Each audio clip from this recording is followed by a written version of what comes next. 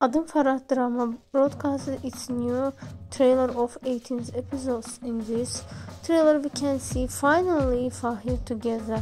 Demet Özdemir and Engin Akyürek was partners in this drama.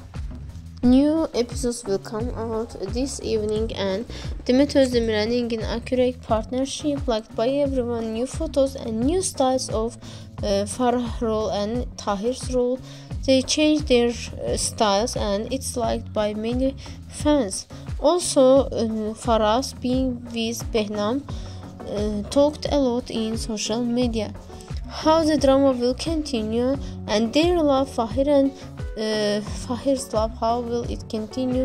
Uh, it's interesting for everyone. Don't forget to follow our page. Also, watch the drama on Fox TV every Wednesday. Drama is very famous in foreign countries and it has uh, bought by many foreign countries and right now it's broadcasting in these TV channels too.